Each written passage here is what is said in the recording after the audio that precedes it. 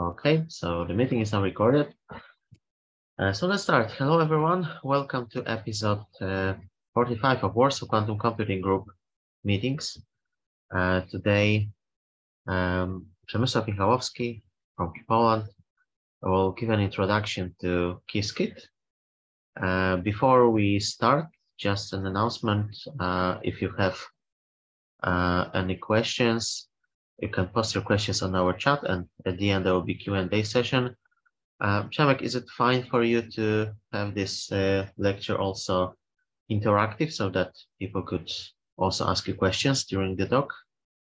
Yes, and if there are any questions that uh, let's say I I would uh, I will be able to like answer immediately, then I think I will even answer them during the lecture. Okay, good. Like I will make some breaks from time to time and look All right. Chat. Okay, so I will also just try to try to interrupt if I see some urgent questions regarding the uh, materials that you are presenting. Uh, but otherwise, if there are some more general questions, then we'll keep them for the Q&A session at the end. Uh, so yeah, as you can see, this meeting is recorded, so hopefully the video will be later available on our YouTube channel. Before we start, we would like to thank our strategic partners, Snart and Cogit, for supporting us and our honorary partners for helping us uh, advertising, promoting this uh, this meetup. And uh, yeah, I think we can start. So I will now stop sharing my slides and uh, Przemek, the Zoom is yours, so if you are ready, you can start. Okay. Um, this should be fine. Okay, so you yes. should be able to see my screen. And one thing I will also do is um, maybe I will upload the link to this notebook on the chat so everyone can like uh, download it to their own hard drive anyone okay. would like to follow interactively. Um,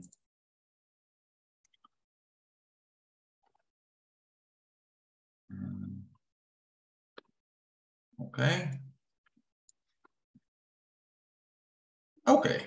Um, so um, let me start. So uh, the agenda uh, is as follows. So first of all, I will say a few words about the Qiskit itself. Then I will uh, present to you some basic information about the Qiskits, like uh, how you write some basic programs. Then we will go to measurement. We will spend some time here. Uh, then also we will talk about uh, some information about the information you can extract from the quantum circuits. Then I will switch for a moment to IBM platform to show uh, you how uh, you can write in Qiskit and then execute uh, the Qiskit code on a real quantum computer. Uh, and then um, I will show you also how to, um, let's say, implement some arbitrary operations that are not directly implemented in Qiskit.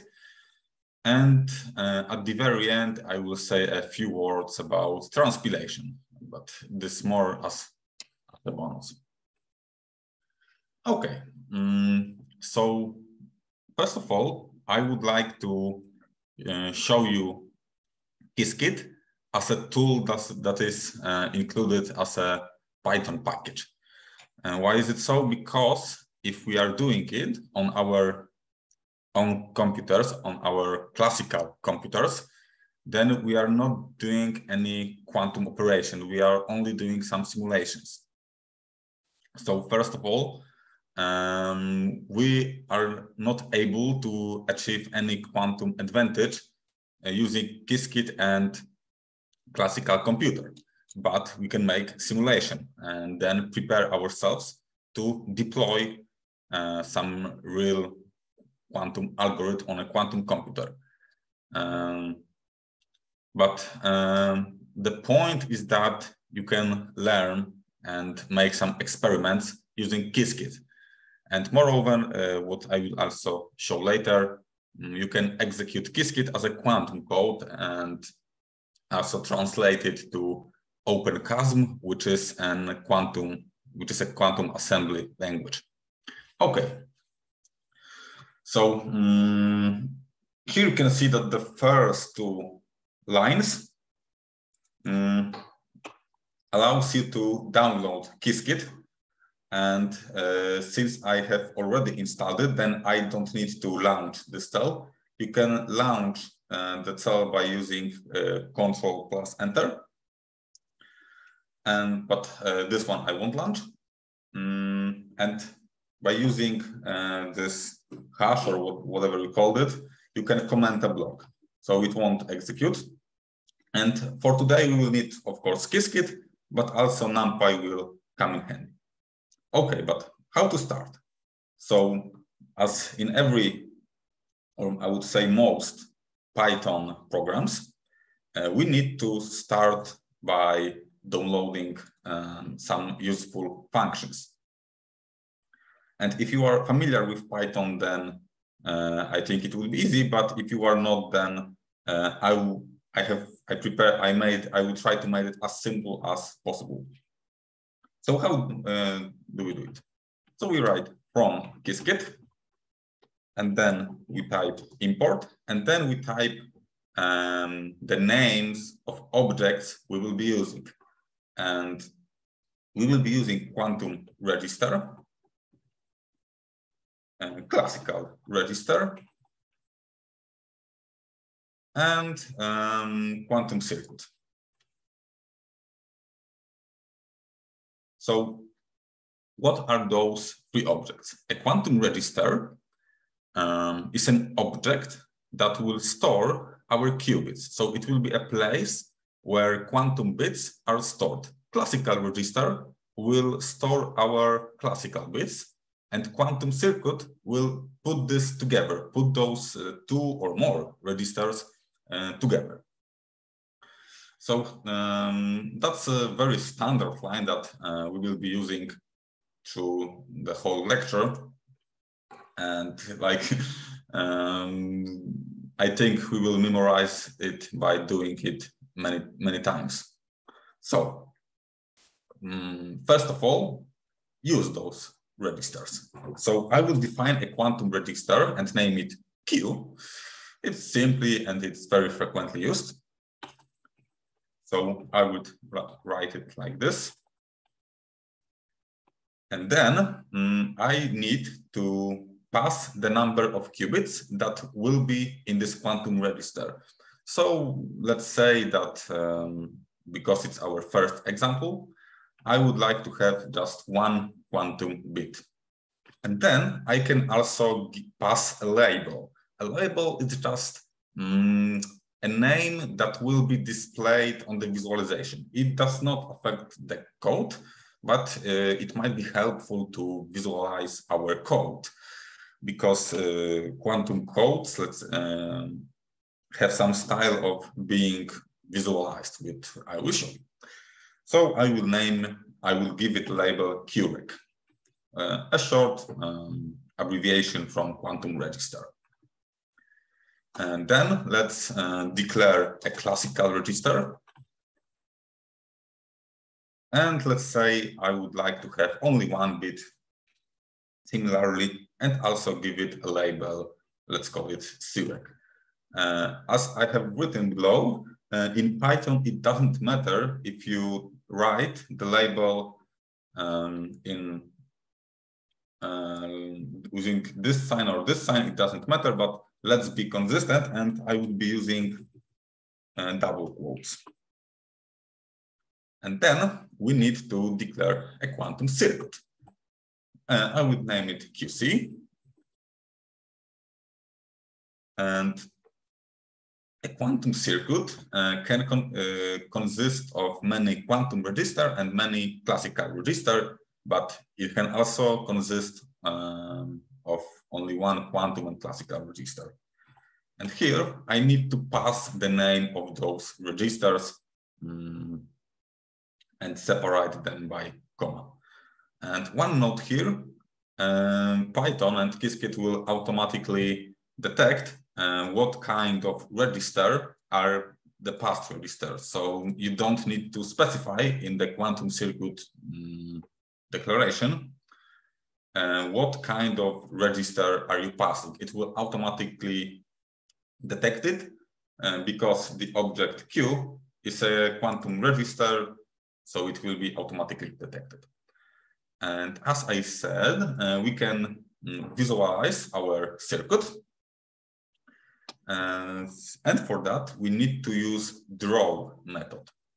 And how to use a method? So first of all, you need to write the name of the object and the method is acting on. So in this case, it will be our quantum circuit, which is named QC. Then press a dot and uh, type this method. So draw. And let's uh, launch our code. So here you see an empty quantum circuit. It's displayed here because we used uh, the QC draw method.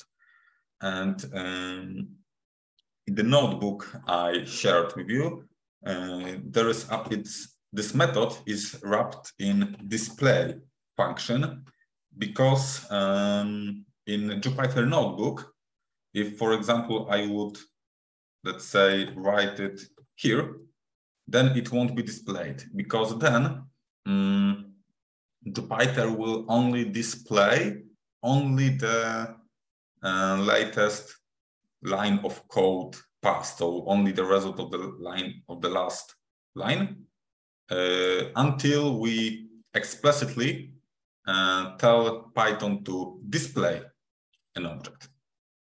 Okay, and here are the other ways to define a quantum circuit.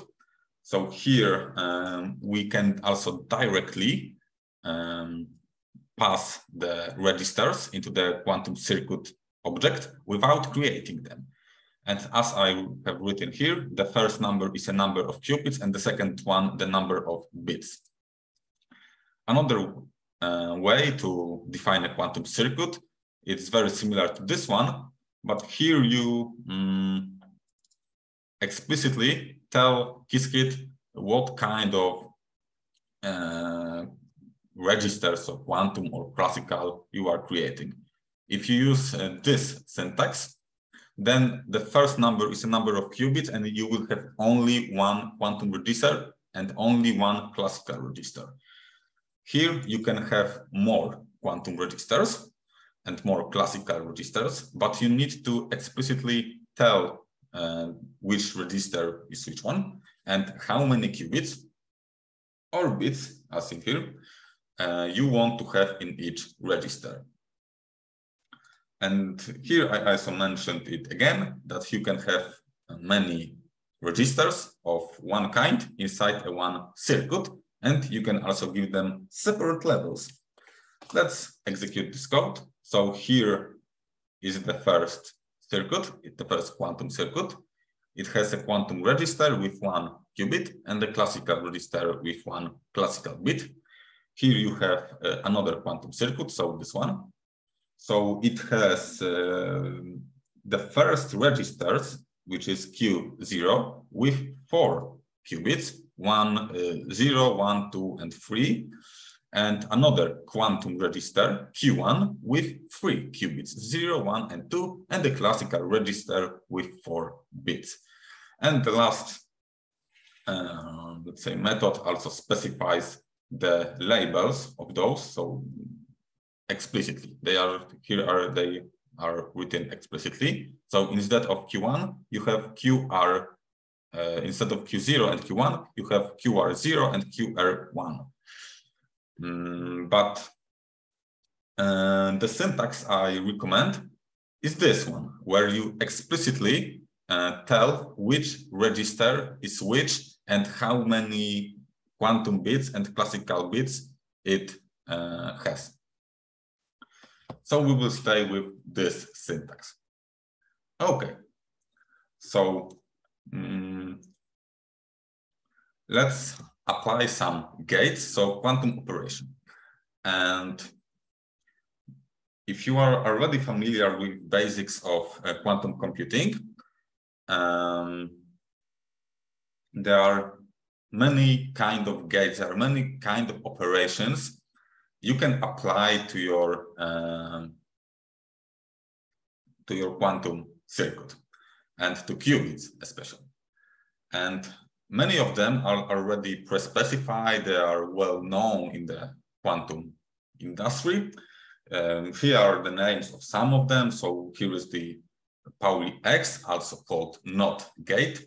And it, what uh, it does, it, it, it switches the state of the qubit to the opposite one around the X axis. Here you have a scheme, um, a blocks called a Bloch sphere, uh, where all the possible states of a qubit are shown. And at the very beginning, all the qubits um, have this are in the state ket zero. So this one, the opposite orthogonal, but here is a problem that this visualization should be four dimensional. But here is there is a trick that allows us to visualize the qubit in three dimensions. So despite this state is orthogonal to this state, it doesn't uh, look like this, but trust me, it is. Um, but uh, if if you are like beginning with, if you are a beginner, then it might be not obvious, but later on, I'm sure it will be. And so most of the, uh, some basic gates are defined as the rotations around those axes. So um, a rotation around X gate will take the qubit from state zero to state one, ket one. And from ket one, it will turn it to state ket zero other, um, let's say, gates that are worth mentioning uh, for beginner is the Pauli Z gate. It only changes the local phase, so it won't like um, change the possibility, the probability of getting the state zero or one when measuring. I will uh, say a few words about it later. But it's, let's say, um, let you to change your local phase. So uh, to rotate a vector representing a qubit around the other gate. So in this kind, uh, around the Z gate. So this particular gate. And there are also gates called Ry, Rx, and Rz that are um, partial rotations about those gates, uh, about those axes. And also the last unit, uh, one qubit gate worth mentioning for a beginning is the Hadamard gate. A Hadamard gate is a very specific gate uh, because it, if you have a qubit in start in a state ket zero, so the default state for a beginning, and it will change its state um, to the state where the probability um, of catching the qubit in state ket 0 is 50%, and the probability of catching in, in uh, ket in state ket 1 is also uh, 50%. So, and we call it an equal superposition state. And the same applies uh, when you start in a state ket 1. So you have this 50-50 and it's very useful. Uh, we will also use uh, controlled NOT gate, and, but we will come to that uh, later. I will later on explain. I see there is some, we have some questions. Um, so the default labels are Q0 and uh, Q1. When I run a circuit several times, the same labels become Q9, Q10. Um, so yes, it basically uh, depends on uh, how many times you run your circuit. So if you run, I here, I run the circuit uh, for the first time. So here are uh, the labels are Q0 and Q1, but later on, uh, it will kind of uh, detect that those labels have already been used. So the labels will be uh, Q2 and Q3, then Q4 and Q5. But if I reset the notebook, uh, I will come back to this initial state, uh, so having Q0 and Q1. So it's just like a technical detail of uh, how Qiskit works, but it won't affect our computation. And that's uh, it is worth noticing, so it's a very good question, uh, why this method of declaring quantum circuits are not recommended, just because those labels will change. So it's better to be explicit. So I will make here an experiment. So here you see that we have Q0 and Q1. Now we have Q2 and Q3. Then we will have Q4 and Q5, and so on and so on. You can also see that the classical register also changed in its, its name. Um, okay. We have also a question regarding LaTeX. So a distribution of LaTeX that provides the PDF LaTeX command needs to be installed separately, used to generate um, uh, how to convert PDF LaTeX in Conda. Um,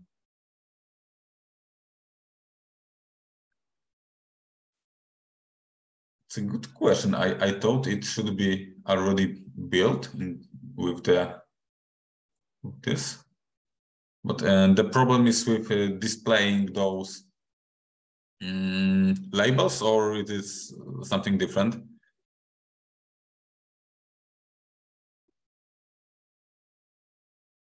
Uh, Dr. Kumar, maybe you can unmute yourself and uh, mm, just uh, give some details if it's if the issue is still valid. -hmm. Yeah, thank you so much. Actually, I am using a Feynman path integral and uh, trying to uh, find the optimal path during the VRP problem. So today I faced this this problem so I write up the code and then the facing always this Conda has some, they are not actually the directly convert in the PDF format. So, so that's why I'm just asking because I'm also trying to design the gate also. So how actually this, the code is actually uh, uh, feasible with this Conda. So I have, uh, from the last two days, I am facing big problems. So I, that's why I am just attending this. I saw that the, you, you are actually giving the basic introductions. So how actually is converting? So I will share the uh, entire code to you uh, uh, after that. So please kindly help me because uh, this is the uh, small uh, difficulties. I tried many times, but still not actually the every time the showing the some errors. Okay. Okay, so maybe I will look at this after the lecture, but I'm not sure if it's if there might be a problem with Jupyter even if, if you are using it because I remember I also had some kind of problem and like changing uh, mm, the program I was writing in like uh, it was useful. But let's say I, I, will look at this after the lecture okay? Okay okay. Thank you. Thank you so much. Okay. Okay uh, okay. Mm, so now let's uh, Przemek, there's one, more one more general question on our chat okay, about so... the maximal number of qubits that we have right now on IBM Q. I'm not sure if you know, but uh, or maybe someone else. Uh, I think that it's uh, maybe maybe we can try to find information the IBM Q website first, so we, we can go on with the lecture and and later we'll try yes. to provide the answer on our chat. Mm -hmm. Okay. Um, okay, so coming back, um, let's let's uh, construct our first um, quantum circuit with some operations. So uh, we will begin um, by the usual way. So first of all, we define a quantum register, a classical register, and the quantum circuit. Here we define a quantum register with two qubits, and then we pass it together with a classic, classical register to quantum circuit. And here is also a line that imports uh, pi, so um, 3.1, 3, and so on, uh, from math uh, package, but it's already inbuilt together with standard Python. Mm. Okay, so how in Qiskit applying the operations, so those gates I have uh, I've just sh shown you, looks like. So here we use this method logic. So we write the name of the quantum circuit then we place a dot, and then we um, write the abbreviation of the name of the quantum gate we want to apply. So H is, is a short from Hadamard gate, R, uh, Y is a short for rotation about the R gate, and the CX, CX is a, a short abbreviation from for a controlled NOT. And here, we, if you have a Hadamard gate, then we uh, we can we will begin by passing by, uh, only a single a one a single one argument, and the argument we are passing here is a num is a, is the name of the quantum register and the number of qubits. So let's it. So we have a quantum register with two qubits, and because uh, in Python we start uh, numbering from zero, the first qubit is indiced by zero. So here we just, uh, we wrote that uh, apply Hadamard gate uh, on the quantum register named Q and on the qubit indiced by zero. And here uh, we have also displayed it. And you can see um, on the scheme, on the drawing, that the Hadamard gate um, has been applied to qubit Q0. Also, the gate RY has been applied to qubit Q0, which you can see here. But uh, this gate is parametrized, which means it, it doesn't have fixed value. So uh, you need to pass the angle uh, by which uh, the qubit will be rotated around the uh, y axis. And controlled X gate needs two qubits. And the first one is a controller, and the second one is a target. And here, uh, this sign uh, indicate the controller and the gate that is applied um, on the target is like displayed um, in the line corresponding to the target qubit. And the CX gate applies the X gate if the qubit Q0 is in state 1. If it's if it is in state zero, then nothing happens. So the gate uh, CX uh, won't be applied. Um, so it's like a basic syntax. I think it's kind of um, together. You can like um, you can use intuition like to work out what are the names of the gates. So let's say I can also apply Z-gate on uh, the qubit indiced by one in the quantum register. And you can see that it has been added. Uh, we can also use a different style of drawing, uh, which uses matplotlib, uh, which is shown below.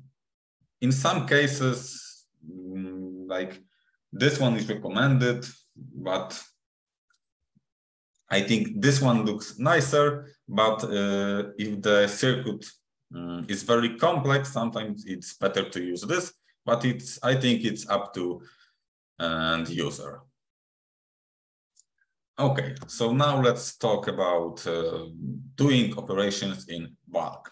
So here I define a bunch of quantum registers. So why to define a bunch of quantum registers? If you have a complex algorithm, and luckily, we won't be writing them because it would take too long.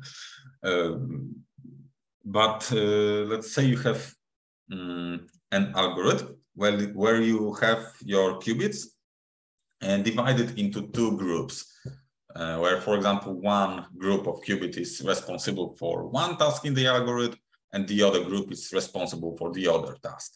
And you may want to let's say, apply Hadamard gates to the first group uh, so to the first register. So that is the point of making some operations in bulk.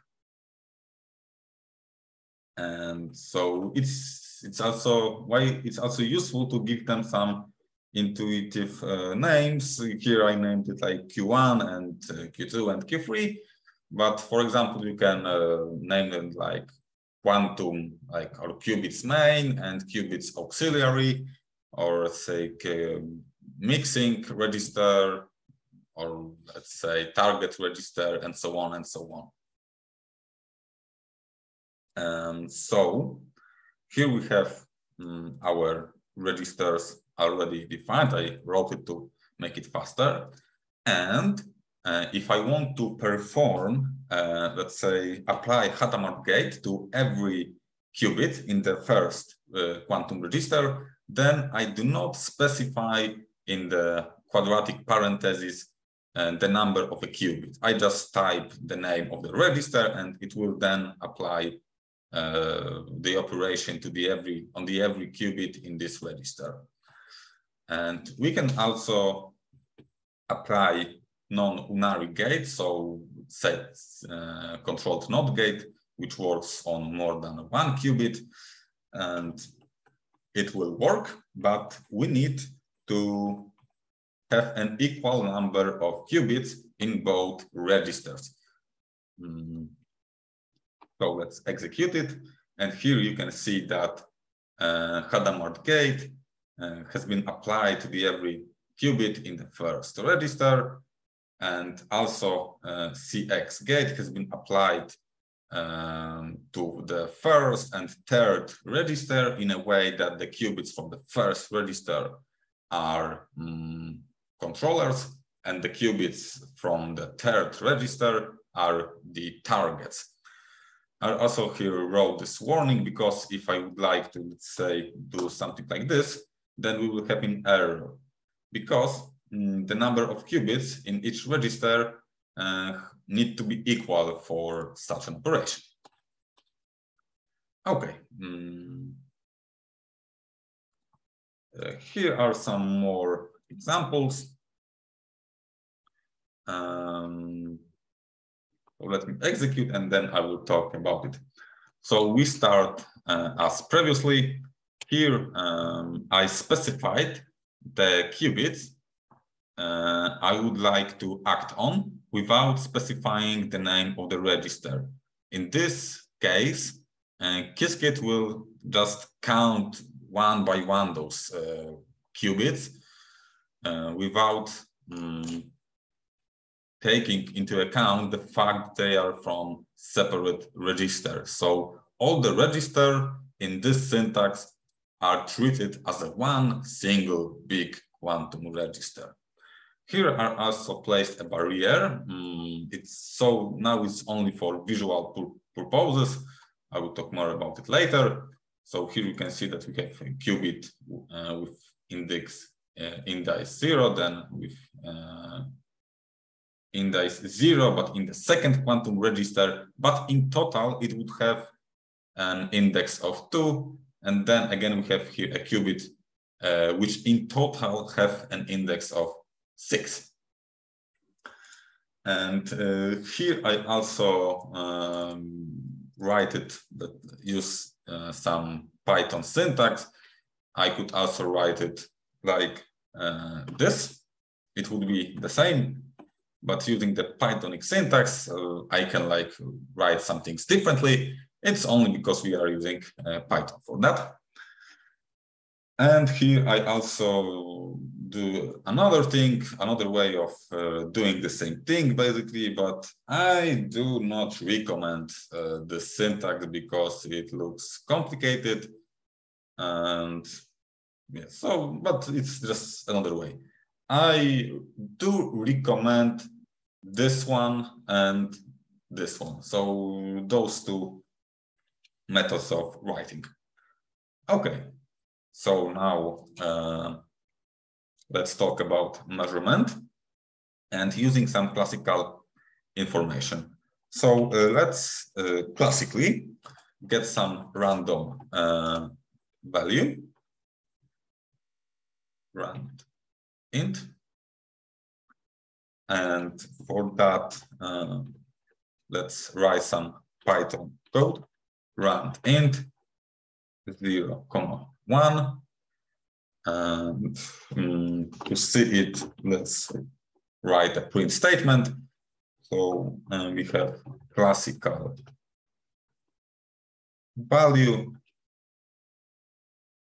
um, will be some value. So this is a classical Python code. And we start, let's begin as always. So um, write, the, declare the quantum register.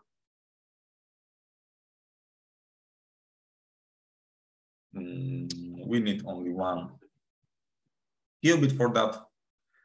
And um, we don't we we don't need a classical register here, so we don't need to declare it.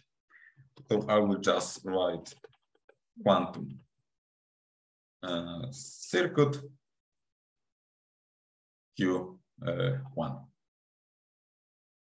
and let's let's uh, apply a Hadamard gate to the qubit in this quantum register only if the value uh, here, which is chosen randomly, uh, is equal to one. So um, we will write some classical Python code. If some value we can write is equal to one, uh, but it's shorter just to leave it, leave it like this and write uh, Qiskit code. Okay, so here we have classical value of one, so nothing uh, has been applied. Again, zero, again, zero. Oh, now we have one, so we applied a Hadamard gate. And uh, Qiskit recommends if you have some external uh, classical value, it is good to write classical Python code if you are using Qiskit. It's, it's a recommendation but later on I will show how to use some internal um, classical information which comes uh, which comes from measurement. So um, okay. So now let's learn uh, about the measurement. So we have some basic quantum circuit with the Hadamard, and we can apply a measurement. I will talk in a second what is it. So QC measure Q1 uh, zero and okay. So it looks like this. And what does it mean? So if we have a qubit, it starts in a state ket zero. But if we apply it, if we apply a Hadamard gate on it, then if we make a measurement, it will have a 50% of being cached in state ket zero and 15 50% of being cached in state one. If it's cached in state uh, zero, then it's mapped onto the classical register, onto the classical bit. And if it's in state one, then uh, we will have in our classical register a value of one. So a measurement, uh, first of all, uh, collapses the state of the qubit to ket 0 or ket 1 and it maps um, the state of the qubit, which is the result of the measurement, onto the classical register and to be more um, specific, onto the specified uh, classical bit. So here the classical bit indiced, indiced by zero. And it's written in this form. So this this uh, this icon is an icon of measurement. Okay. So how to know uh, which one was ket zero or ket1. And uh, for that, we need to write the following code.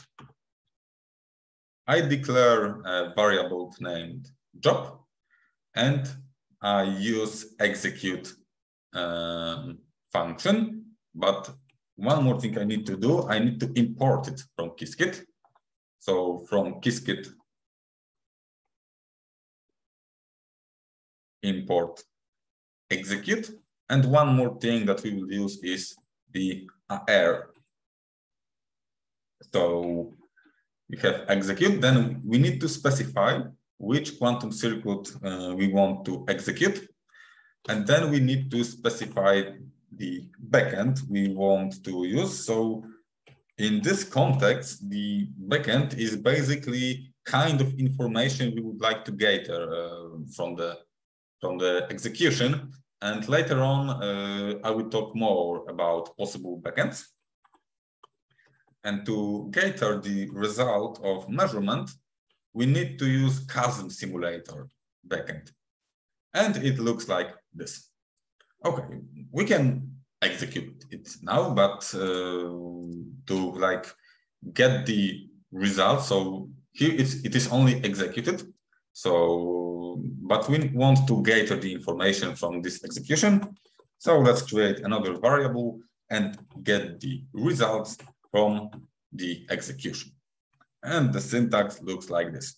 We get counts. And uh, when we will run, as we will learn more about the possible backends, here the syntax will change, but only slightly. slightly. Okay, so here we get some counts and we want to print it, of course. So print counts.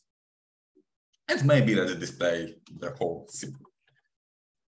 So display, QC, draw, and use matplotlib backend from for drawing.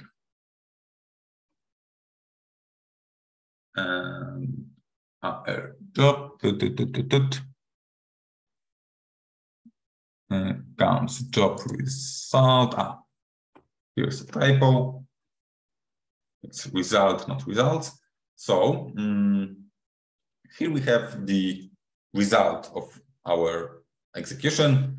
Uh, so uh, the qubit has been cached in state ket 0 uh, 490 times and its state ket 1 534 times.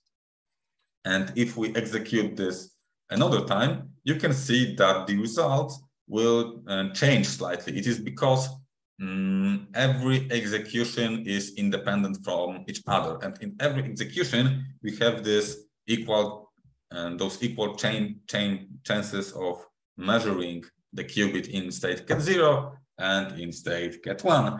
So be, because of uh, just probability, the results will change slightly. And here is also a visual representation. And here, um, so we have a question, since this, this is the measurement outcome of a superposition, is this measured value uh, now truly random? Uh, so it's, let's say, as random as the classical computation allows us to do this. And you can write it, uh, mm, let's say you can uh, write this function by yourself. So yes, it's like uh, later on, I will show you how to get the state vector simulator to see the state of the qubit just before the measurement. And from this, you will be able um, to get the probabilities of measuring the qubit in state ket0 and in ket1. So basing of on those probabilities, Python um, will get a value one or value zero. So um, yes, uh, we can change the number of executions. Oh.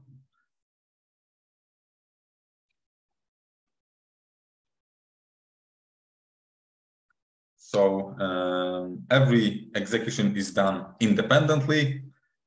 And here we have, um, this time we obtain state ket 1 and here ket 0, but only one time. And uh, here is the question uh, about the number of uh, repetitions. So yes, by default, it's uh, 1024 or just 1000. Um, let's check it. Uh, yes, so it's 1024, but we can alter it using this uh, shots argument. Um, so how many times this circuit is being run? So by default, it's uh, 1024. Here we can change it with, so I will show it. And another question, since the measurement outcome outcomes are random and changes every execution, uh, how we get the right measurement or the wanted state. So um, it's the point of quantum computing that you can't get the state. It's like in quantum computing, you want to use um, these probabilities. Um, so you need to deal with the fact that you are you won't get the same output in every execution. It's, it's the point of quantum computing that in every execution you can get different results. And thus the circuit gets created in the uh, every run. So uh, technically, no, it, it is created only once, but it is just uh, executed many times from the beginning. So it's like you, you have a reset here and then Python starts from the beginning executing the same circuit, but it does not create it uh, another time because here we create this circuit in, in this part. And here we execute the circuit um, 1024 times separately. And then we just gather the results. So here is the distinction. Um, so yes, uh, Samget is, uh, yes, that's right. This idea that the measurement outcome is random, it's like the idea of uh, quantum computing that you have superposition, but um, then you need to deal with some randomness. And as a consequence, quantum um, quantum algorithms are not deterministic, they are probabilistic algorithms. So it is, uh, you do not have a guarantee that uh, if you execute the same algorithm on the same data, another time you will get the same result. So you are, there is no guarantee. And the quantum noise, it's also another topic, but yes, we, we want to we don't want to be sure of that because then um, those computations could be done uh, classically as well. Okay, so I hope I answered all the questions because there were plenty of them. And uh,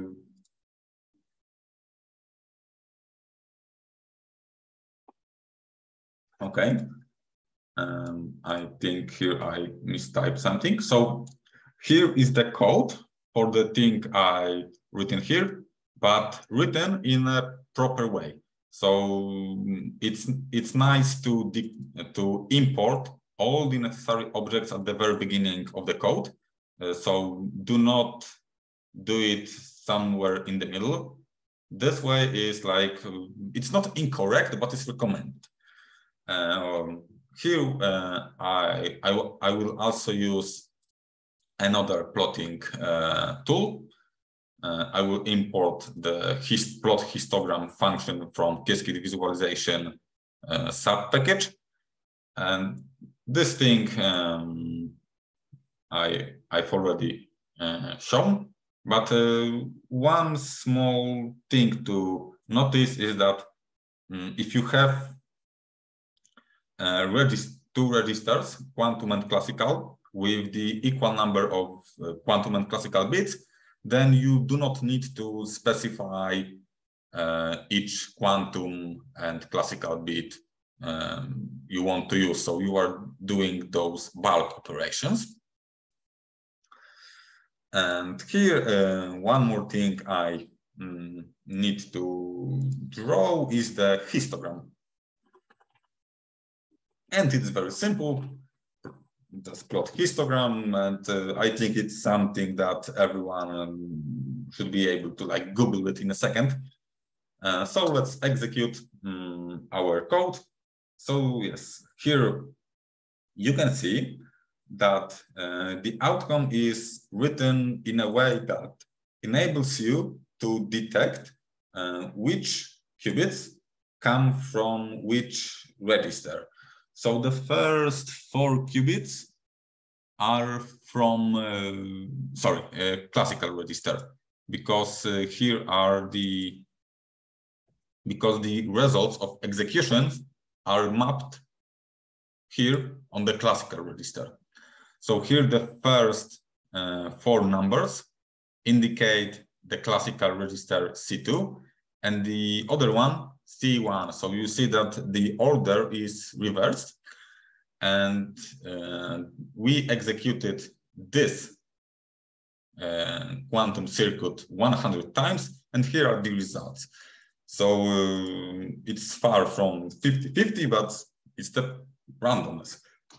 If, oh, here I get an ideal equality, so maybe, oh, this one looks nicer because we have some here some randomness and we can also plot the histogram of the results. So you can see it is implemented in a very nice way. Here I also uh, ordered uh, QC draw to reverse the order of bits. Uh, maybe I will hide it for a second. And so you see that just the order of um, quantum bits, it's why it's reverse bits, so quantum bits is reversed. So here you have zero and one, but now you have one and zero. So it's just it's just for uh, visualization.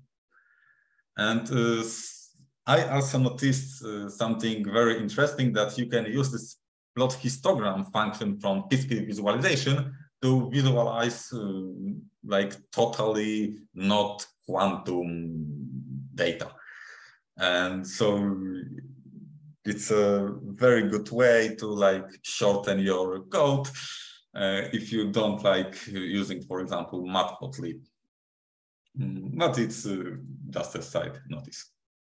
So now I would like to um, make some case studies. So super dense coding.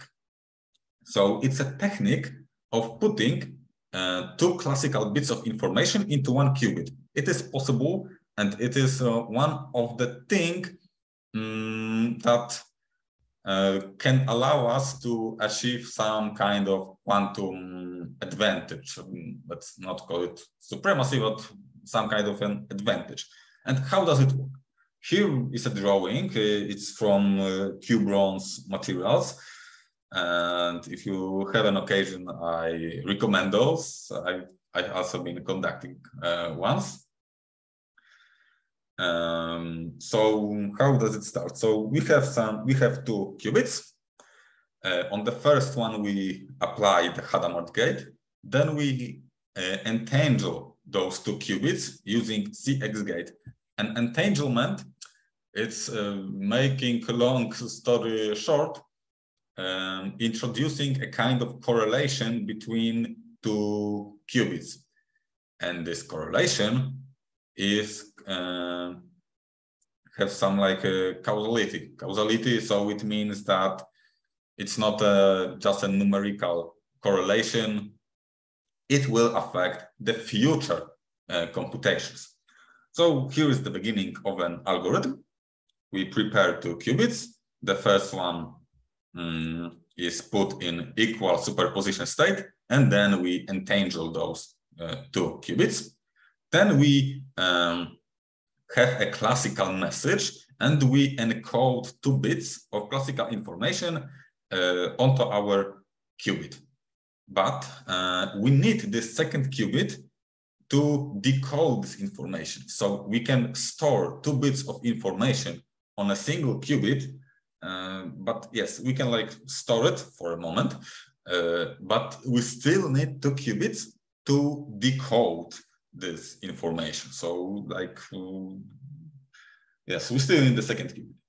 And here is the decoding. So you can see that we are applying those operations, but in the reverse order. And here is the measurement. Okay, so um, let's write a Python code for that. Uh, so here I've already written the initial line, and we have pairs of uh, classical information. So we have information 0, 0, we have 0, 1, 1, 0, and 1, 1.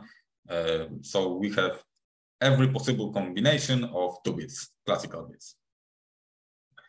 And uh, we will test the procedure for each of the inputs. So I written here a loop, a Python loop. And um, so for every of those strings of information, this loop will be executed. Um, okay, so we start as usual. So we define a quantum register. We need two qubits, as said. Let's add some nice label. Then we have a classical register, again with uh, two classical bits. And of course, a quantum circuit. Q and C. And then we prepare those qubits. So we need to apply Hadamard gate and controlled NOT gate. So um, we apply Hadamard gate on the first qubit, uh, which is indiced by zero, and controlled NOT gate, uh, where the first qubit is the controller and the second qubit indiced by one is the target.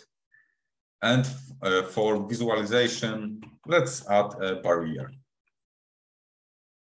Okay, uh, so as mentioned earlier, to use external information, we are writing a classical Python code. And we'll do it um, by following. So if the first bit of information is equal to one, then we apply the Z gate.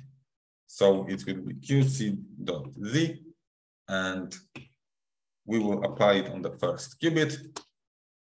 And also if b is equal to one, so the second bit of information, uh, we will apply the X gate. Okay, let's add a barrier uh, one thing to notice is that here I uh, put this one as a string. So it's not a number because those are strings. So a character variable. It's not a number. It's treated like uh, a, a, letter, like a word. Um, so a technical remark. And then decoding. So we are doing the beginning, but in the reverse order you know, I can copy this.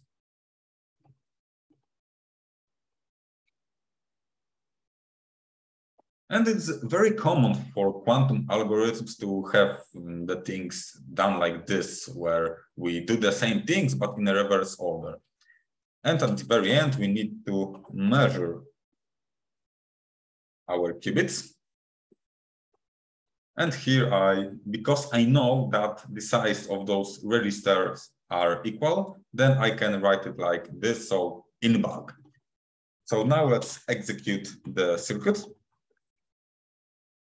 So I have execute QC, then specify the backend. So uh, QASM simulator. Um, so let's execute the circuit uh, 100 times and then extract the data, uh, so the results of the execution, result, and get counts, and then print them. So counts, and maybe also display and the circuit. I will just copy it to make things faster. Okay, so because we have a loop here, the code is executed four times. And the first case is where we have uh, classical information set as zero and zero. So you can see that between two, those two barriers, no gates has been, uh, has been applied. Then we have zero and one. So you can see that B is equal to one. So X gate has been applied. And then similarly, we have here A equal to one and B to zero. So we have Z, Z gate and here by the same token, we have Z and X. And you can see here that um, the result, the outcomes of the measurement are, are the one that we expected. So you can see that here the classical information is equal to zero, zero, and it has been decoded as zero, zero. So it means that we, uh, the decoding uh, has been done correctly. So that's, that's a super dense coding technique and just as an example how to write some simple circuit. Okay. Mm. Now another thing I would like to show is how to affect the qubits basing on a value in a classical register. So an internal kind of information, because here and the classical information uh, is not a part of a register. So here you see this classical Pythonic code, but we can also affect qubits basing on the value in the classical register. You can see that uh, the classical register is empty for the most time, but uh, here uh, I would like to show um, a kind of uh, circuit when um, the qubits are affected by the state of, uh, of a classical register. Uh, so here we have uh, quantum and classical circuits, uh, registers. We have, uh, we affect one qubit with Hadamard gate. Um, here we we are doing some measurement, but here we expect the result of this measurement to be zero because every qubit starts in state zero so we can be 100 100% sure that uh, the result of this line will be zero. But here we measure the qubit indiced by one, and which we affected by Hadamard gate. So here we have this 50-50. Uh, so the equal superposition state, so we can both have zero and one as the outcome. Uh, so, and we can affect the other qubits uh, using the information that um, has been put into the classical register uh, using the measurement. So uh, how is how is it done? So here I wrote the following. Uh, so affect the qubit Q2 uh, with X gate if uh, the bit in classical register named C and the bit indiced by one uh, has the informa has the value of one. So here I specify which bit controls the operation and here uh, what value should be assigned, uh, what value um, controls the X gate. Um, so, so far, by using CX gate, I have shown you earlier, like here, quantum bit affects quantum bit. Um, here, classical bit affects uh, quantum bit, but the classical information is from the outside. And here, the classical information is uh, internal one. And measurement is a kind of affecting the classical bit using quantum bit. Um, okay. Mm. One thing also to notice is the notation. So I think it's barely visible. This 0x uh, indicates that this number uh, will be written in uh, in a form of uh, like the 16th uh, system. So it's not a decimal, not binary. Um, let's make an example. Oh, here is still one because I do not have enough bits. Um, ah, okay, it's a bit more complicated than, than that. Um, but yes, that, ah. now it should work. Okay, it's F, so F is uh, 15, I believe. Um, ah.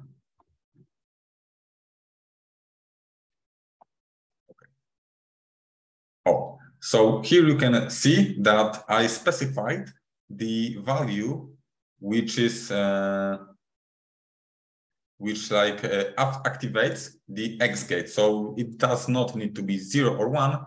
It can be also the other number. So, and this number is defined by this string. So you need to convert from binary to other mathematical systems. And I believe that most of the time zero and one are used. Okay, um, now I would like to um, go to the other section. So jobs. So, so far uh, I've been using QASM simulator, um, but this allows us only to cater the results of measurement. And the other simulator we can use is the um, is, is, is unitary simulator. I will jump here. And okay, the task is as follows. So we applied a number of gates um, on our qubits and like it might be even hundreds of gates. And after, so, and we can, um, we can express all those gates as a single gate. It is possible. If they are a valid quantum gates, then we can express them as a single quantum uh, gate as a single matrix. And for that, we need to use unitary simulator. So how does it work? So here we have some quantum register and the quantum circuit. We have a Hadamard gate and controlled NOT gate. We have two qubits. And uh, if we use measurement, then we will get an error because measurement cannot be represented um, as a quantum gate uh, as a, let's say, some default quantum gate.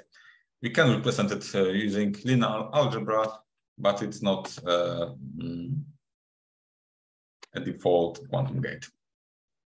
And for that, uh, we need to use execute function on QC uh, quantum uh, circuit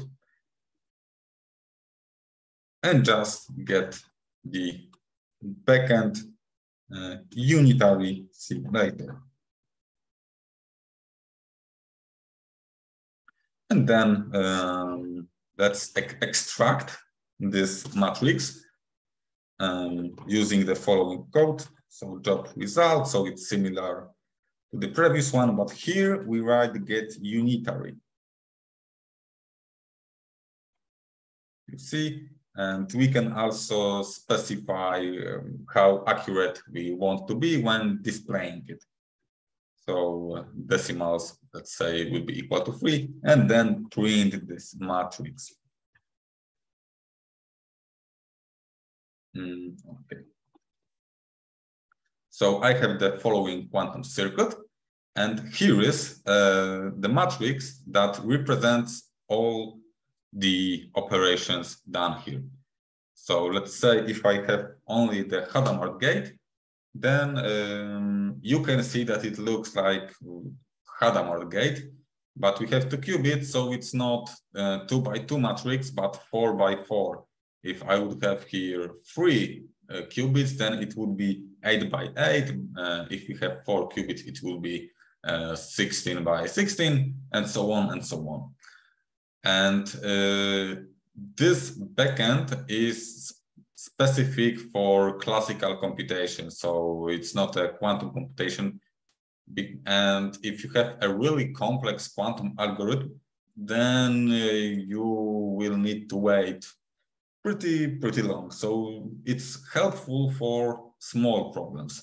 And for bigger problems, the matrix will be also extremely big because look, for example, for 10 qubits, it, you will have over 1000 uh, rows and columns. So it's a gig, uh, gigantic. Mm. One thing also to notice is that it is not a NumPy uh, object, it's an operator. An operator is an object, uh, it's a class of object uh, created by Qiskit and more about it I will say later. Here is um, here is a script that displays this matrix in let's say friendly form. So I think uh, it's sometimes used to uh, good to use it for visualization. Okay, mm, we have a question, but we have also an answer. So Yes, so Camila is uh, right, so thank you.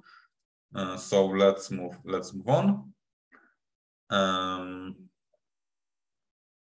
okay, so uh, previously there was a question about uh, checking the state of the qubit at an arbitrary moment. So let's say I would like to check the state of the qubit just before the measurement.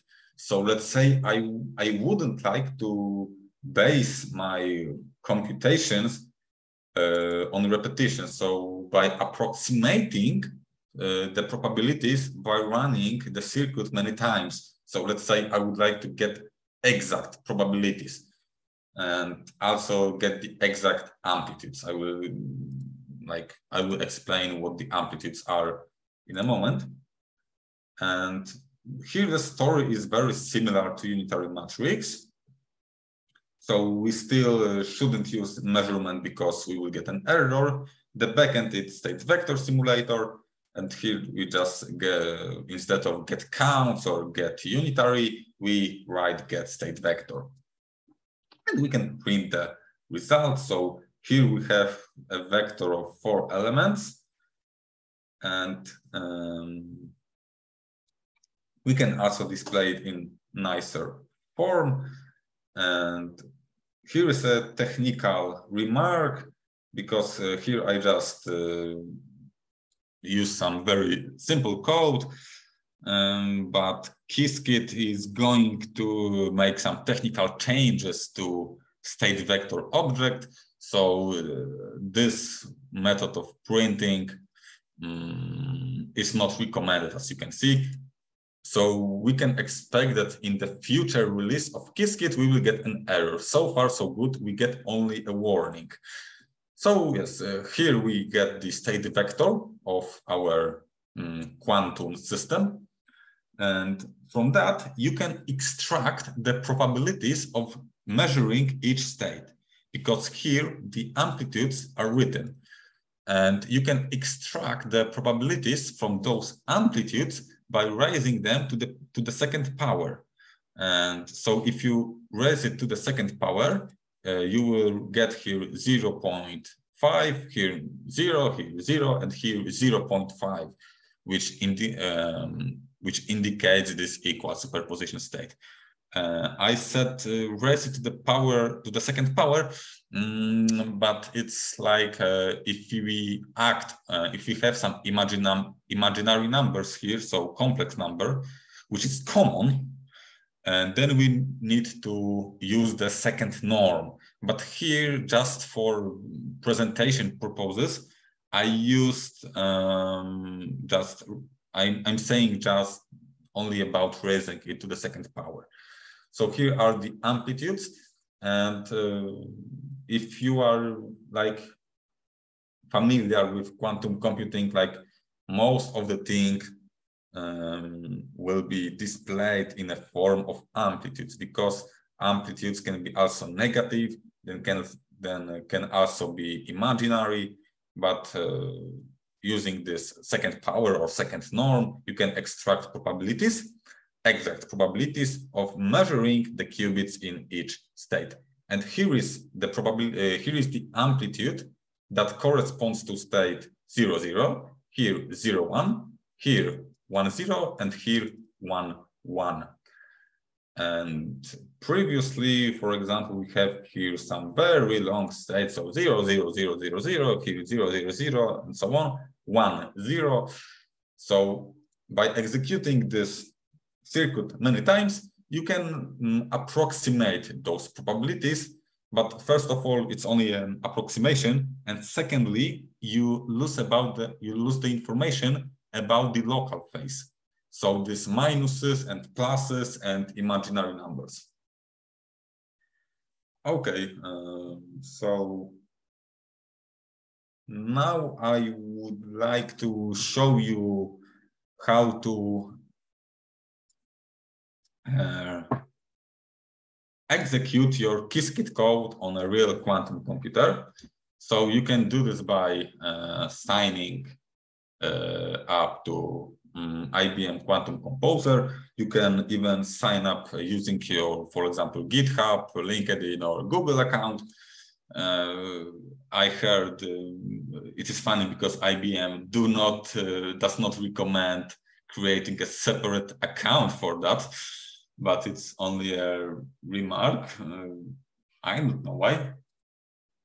So here I I have some very simple circuit uh, we have a Hadamard gate and a CX gate. I can use here the drag and drop. Here you see the uh, Qiskit code for this for the circuit. And you can also write here, um, ah, because it's read-only. Um, but as you dig into this uh, sorry. As you dig into the IBM Quantum Composer, you will, uh, let's say, uh, find out how to write the code by yourself in Qiskit. So we can see it's already visualized here, but uh, it's not exactly the code that will be executed. It is uh, translated, or I should say, let's say, transpiled to assembly language, OpenQASM. And you can see that this assembly language is quite similar to Qiskit. So you have this quantum register, you have a classical register. Here is uh, the Hadamard gate uh, acting on quantum register named Q on the qubit indiced by zero. Here you have this CX gate and another Hadamard gate. And here we will have a real quantum computation. Here are the expected probabilities of measuring each, um, each state. So let's set up and run, and probably we will have to wait. Oh, here we also need to uh, declare the number of shots. So I will set it to maybe 100. And this is optional. And here you can see that uh, we have a job limit. Um, because like it's it's it the servers are busy because it's like open uh, it's for free so you IBM like gives you some access to the real quantum computer and here um, you can see uh, how many jobs are pending and what does it mean that uh, we need to wait until other users will execute their quantum circuits. Maybe I wish uh, here the queue is kind sm relatively small. Okay, so let's run and uh, I forgot about the measurement. Okay.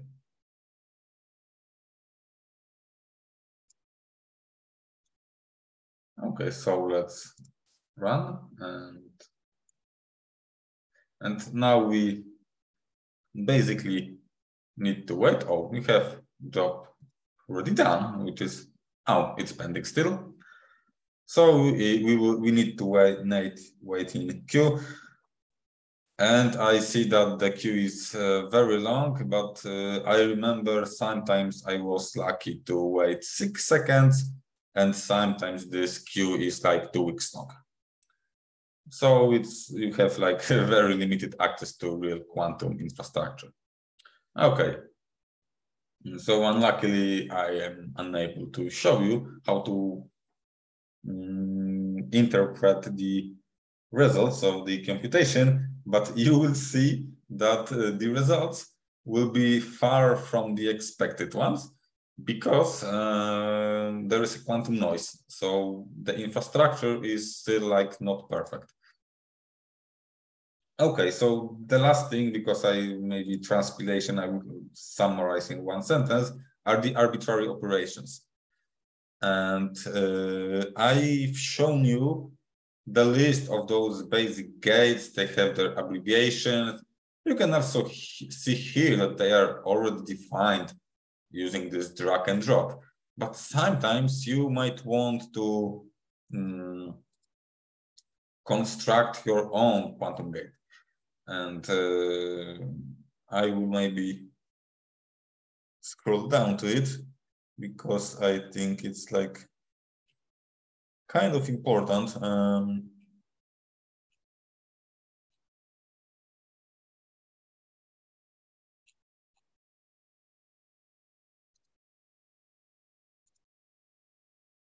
oh, here. So um, I uh, told you that the unitary uh, backend gives you an operator object.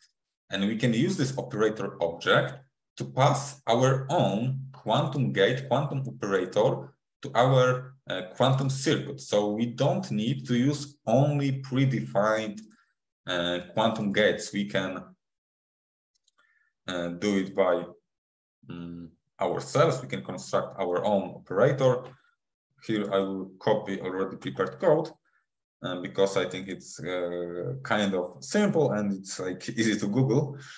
Mm, so we need to import operator objects. It's uh, from Qiskit. And we uh, construct the operator. And so first of all, we name our operator. Let's name it UOP. And for that, we need to uh, specify that it will be an operator. So basically we are using operator function to create an operator. And here we need to pass a matrix that will look like uh, the quantum gate. Um, so it will be operator. So let's say we want to create a quantum gate out of this matrix. So it, it is some kind of quantum operator that acts on two qubits. And here we created our own operator. And uh, let's say that um, I want to um, use this operator and here the syntax is, uh, let's say it looks unusual compared to the things we have already seen. We need to use append method. And here we need to specify the name of our operator and then specify the qubits we are acting on. Because our quantum register has two qubits, then I don't need to manually specify which qubit I'm acting on. Mm, and but because our operator acts on two qubits, and for example, if our quantum register have uh, has, for example, three qubits, then we need to think about it and write this in form of a Pythonic list and take care about the parentheses.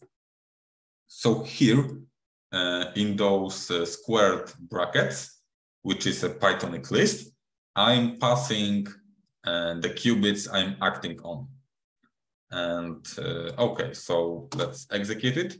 So here you see our matrix, right, uh, written down as an operator.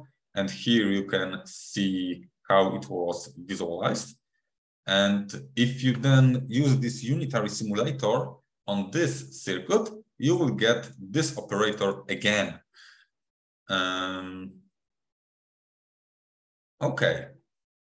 Mm, I think we are kind of running out of time. So in short, I will mention a few more things I would like to show you. One of them is, oh, it's resetting the qubits. So um, sometimes it is very useful um, to use a single qubit again instead of using many qubits because you can uh, out the quantum infrastructure is kind let's say uh, limited. So we do not have access to many quantum bits. So instead sometimes it is advised to use the same quantum bit twice or three times or four times and so on. But if we measure a qubit and then we want to use it again we are not sure if the qubit won't start in state Q uh, in state ket1. And for that, we can use the, uh, we can reset it simply by typing reset and then uh, similarly to passing gates, uh, just tell Qiskit to reset a given qubit to state ket zero. So it is very useful in some long and complex algorithms. And I will um, share this file. Here are some more examples, like when to use this resetting. And uh, one another things are those barriers and transpilation. So if you execute a quantum circuit, uh, you can be sure that uh, you mm, that it will be executed on the quantum infrastructure in the same way. So let me show you some examples. So let's start with something easy. Um, QFT size, I didn't declare it. So QFT size, let's say it will be equal, equal to so I have a very simple uh, quantum circuit. We have uh, applied X gate uh, two times. And I used here the transpiler. And here, because I, um, because uh, a transpilation in Qiskit will try to um, simplify our circuit if there are some unnecessary operations. Here, uh, all those operations are considered to be necessary because they affect our circuit significantly. So here, let's use X-gate twice. But here, I uh, set optimization level of our of the transpiler to zero. So because I set it to zero, nothing will be simplified. But what is here to simplify? So if you apply X gate twice, it will change nothing because it's like if you apply the X gate for the first time on qubit in the state uh, ket zero, it will uh, be changed to ket one. And if you apply it for the second time, it will be changed again to state zero. It's just a reflection. Um,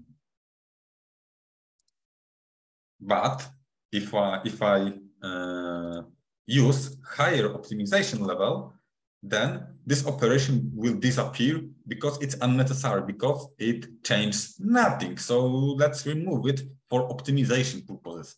And if you uh, try to pass such a circuit uh, to this IBM uh, compiler, then it will be simplified. Uh, but what if you don't want to simplify a given piece of code, a given part of quantum circuit? You can put a barrier. So if you are using only a classical Qiskit classically, then a barrier is just for visualization purposes. But if you are using a real quantum device, then putting a barrier um, will restrain um, the transpiler from simplifying the circuit over the barrier. So here, because I use the barrier, those X gates cannot be simplified. And the optimization level tells us uh, how much we allow the transpiler to simplify our circuit. Optimization level equal, if the optimization level is equal to zero, then it's not simplified. If one or two, uh, if one, uh, let's say, some basic things are simplified, this is a basic thing that I've shown you. If it's equal to two, then some more complex things are simplified and it the highest level of optimization now is three and it will simplify the most, let's say, complex things, but IBM does not recommend using optimization level uh, equal to three because it uh, might affect the quantum, our circuit. So it might change the logic. It might uh, change uh, the way we are doing. So it, um, let's say, it will not only simplify the code, but it, it will change uh, the logic of our code um, because uh, due to numerical errors. So it's uh, it's like very extreme optimization. Okay, uh, so the question is uh, if I can share this Jupyter notebook. Yes, I will upload this to this link I sent at the very beginning. Maybe I will send it another time. And even I think uh, today I will uh, I will even upload this notebook. Uh, so I think that's uh, I managed to show you the most important things. Um, and it's already longer than I thought. So thank you for your attention. Thank you for your uh, questions. If there are any other questions, then I will be happy to answer them. And maybe I will show myself because I totally forgotten about it. Okay, great. Thank you. Thank you, Przemek. Uh, thanks to you for this great presentation and answering all the questions. I don't see more questions on our chat, so maybe the last chance to ask something and uh, maybe I will also just share uh, my slides for a while. Okay. So, yeah. Okay, all right. Um, so yeah, well, thank you for your attention for joining this meeting, and we would like to thank once again our strategy partners, North and Cogit, and our own honor partners for supporting us. For sure, there will be next meetups, but we are not sure when yet. Uh, we hope that we'll manage to organize the next one in December, uh, but uh, we are not sure yet. So uh, stay tuned. Please follow us on our um, social media and uh, our mailing list. And of course, we'll let you know and we'll announce uh, the next meeting soon. Okay, I think I can stop sharing my slides now and also stop recording.